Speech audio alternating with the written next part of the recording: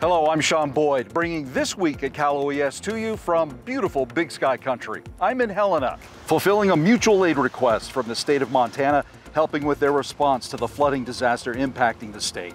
Of course, that includes the devastation that happened in Yellowstone National Park. The State Emergency Control Center here is staffed with responders from Michigan, Florida, California, Colorado, Oregon, South Carolina, and Wyoming.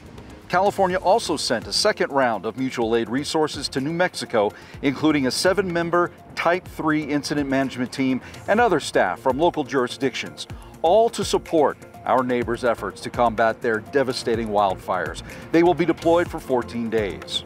And in keeping with the mutual aid theme, Cal OES transferred a mobile command center vehicle to the Linda Fire Protection District in Yuba County.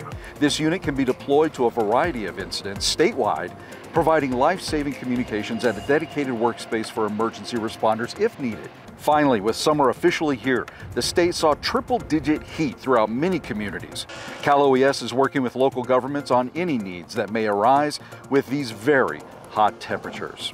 Hey, to see more from us, go to news.caloes.ca.gov and follow us on all of our social media platforms.